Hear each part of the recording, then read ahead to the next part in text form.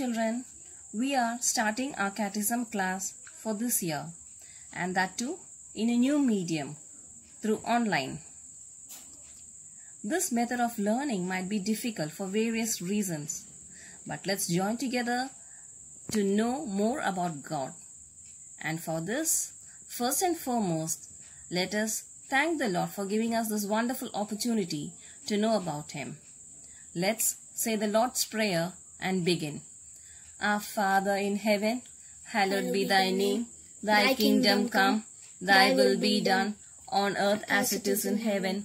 Give us this day our daily bread, and forgive us our trespasses, as we forgive those who trespass against us. And lead us not into temptation, but deliver us from all evil. Hail, Hail Mary, full of grace, the Lord is with you. Blessed are you among women, and blessed is the fruit of thy womb, Jesus. Holy Mary, Mother of God, pray for us sinners, now and at the hour of our death. Amen. Great kids, now let's move on to the catechism class. What do you understand by the word grace? Blessing, yes, correct. Gift, okay. What else? Does anyone have anything else to say? Some accurate answers I'll give you some examples. There were three children. One of them was Alex, Veena and Kathy. Alex was sure that he has written an exam and he'll score very nice marks. And Veena was also sure that she has written okay. Whereas Kathy, she was afraid she did not write the exam really well. She was scared that she will not pass in that exam. What happened? The teacher corrected all the papers and Alex scored as usual 95 marks out of 100 and that was very good. He had written for 95 and he scored 95. Great. Veena, she wrote for 60 but she was able to score only 50. Something was not right it seems as per her calculations and as per it, it differed with the calculations of the teachers. Whereas Kathy, she knew she had written only for 38 marks. And the teacher corrected and what did the marks come out for Kathy? She got 40 marks for 100 which is a passing mark. Do you understand children? There were two marks extra given for Kathy.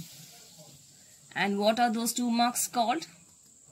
They are called grace marks given by the teacher. In the same way, this grace, that is, you are receiving it without being deserved. Did Kathy write for those two marks? No, but still she got her marks. She cleared it. I'll give another example so that you will understand what is the meaning of grace. There was a home and in it lived a beautiful family. A dad, mom, son, daughter. So one day the dad asked his son to go to do some work. And the son also replied yes and the dad proceeded to office. Dad hoped that the son will complete the work which was given to him. But what did the son do? He was playing with the ball all day and totally forgot what the dad told about him. And dad was working in the office and wondering that the work would have been done. Oh, my son is very obedient, he's very good and all those things. But nothing happened like that. Dad came from office with a gift for the son. And when he reached, he knew that the son had not done the work. But still, he gave the gift to him. And that is grace. That is receiving it without being deserving. And he gave the gift without any terms and conditions. And he gave the gift freely without any cost. So that is the meaning of grace. You get it without any conditions. Pure love. And that's how God gave us His Son to us. Freely. That is God's gift to us. Who's God's gift to us first and foremost? That is our Lord Jesus Christ. And He gave up His life on the cross. And God's gift, He has given His gift in the form of grace. And, and what are the channels of grace He has given? The seven sacraments. And what are the seven sacraments? Baptism, reconciliation, Holy Communion, confirmation, holy matrimony, holy orders, anointing of the sick. Very good. So children, can you all understand? They are baptism, reconciliation or conf confession, Holy Communion or Holy Eucharist, confirmation, Holy Matrimony, Holy Orders, anointing of the sick. So you know, we have all been baptized in the name of Lord Jesus Christ. And I'm sure half of you have got the, have made confession and then received a Lord Jesus in the form of Holy Communion and confirmation has also been done. This is how we can be close to God. By using these sacraments, we become close to Lord Jesus Christ. These are the channels of grace. And what does the word of God tell us? It tells us in John chapter 15 verse 5, I am the vine, you are the branches. If you remain in me and I in you, you will bear much fruit. Apart from me, you can do nothing. Children, do you understand the meaning of this? I am the vine. So Jesus is the vine and we are the branches. We can be united with him only if we follow all the sacraments, if we abide by the sacraments. For you children, I have given you a puzzle.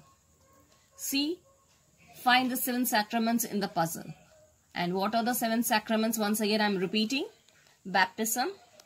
Can you all repeat with me? Baptism. Baptism. Reconciliation. Reconciliation. Holy Eucharist. Holy Eucharist. Confirmation. Confirmation. Holy Matrimony. Holy Matrimony. Holy Orders. Holy Orders. Anointing of the sick. Anointing of the sick. Children, this is a photograph of a wine with grapes. See how the grapes are just attached to that. In the same way, we are also supposed to be attached with Jesus. Okay children, let's finish our class again with the prayer. Our Father in heaven, holy be your name. Your kingdom come, your will be done on earth as it is in heaven. Give us this day our daily bread and forgive us our trespasses as we forgive those who trespass against us. And lead us not in temptation, but deliver us from all evil. Amen. Hail Mary, full of grace, the Lord is with you. Blessed are you among women, and blessed is the fruit of thy womb, Jesus. Holy Mary, Mother of God, pray for us sinners, now and at the hour of our death. Amen. Thank you, children, and see you all next week. Remember to be united with Jesus always as the branches in the vine. Bye. Take care.